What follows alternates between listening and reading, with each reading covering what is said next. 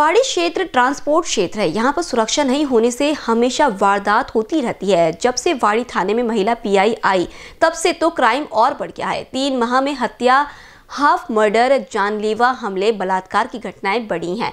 गुरुवार को रात खडगांव रोड पर नरेश ट्रांसपोर्ट के पास एक कामगार युवक की हत्या से इलाके में हड़कंप मच गया है।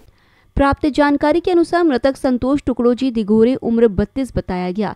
संतोष शराब पीकर खड़गांव रोड पर गिर पड़ा था। उसे आरोपी वैभव देशमुख, ज्ञानेश्वर लेआउट, दत्तावाड़ी ने मृतक को यहाँ से उठ उधर जाकर सो कहा। संतोष नशे में होने से वैभव की बात नहीं मानी, बस इसी का गुस्सा आरोपी वैभव देशमुख को आया और संतोष के सर पर मुँह पर सड़कों पर पड़ी ईटों से वार कर दिया।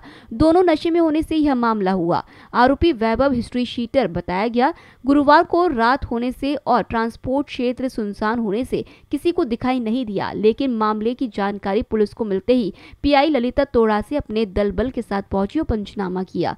जानकारी के अनुसार मृतक संतोष पिछले कुछ समय से अपने बड़े भाई चौतीस वर्षीय संजय दिघोरे के साथ साहू लेआउट में रह रहा था।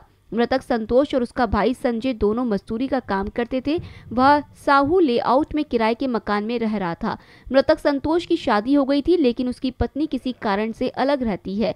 संतोष के दो बच्चे भी हैं। घटना के बाद स्थानीय लोगों ने मृतक संतोष का खून से लथपथ शव देखा और पुलिस को सूचना दी। सूचना मिलते ही joint CP Ashwini Dorje, police उपायुक्त लोहित मतानी, वरिष्ठ पुलिस निरीक्षक ललिता तोड़ा से, एपीआई ज्ञानेश्वर धवले, गोपनीय विभाग के चक्रधर भरपत मौके पर पहुँचे। पुलिस ने घटना की जाँच की और शव को पोस्टमार्टम के लिए सरकारी अस्पताल भेज दिया।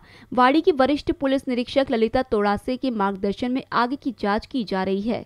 वाड़ी शहर में बढ़ते अपराध पर शिकंजा कसने अब वाड़ी को दबंग पीआई की आवश्यकता जताई जा रही है। वाड़ी से एनबीसीएन न्यूज़ के लिए सौरभ पाटिल की रिपोर्ट।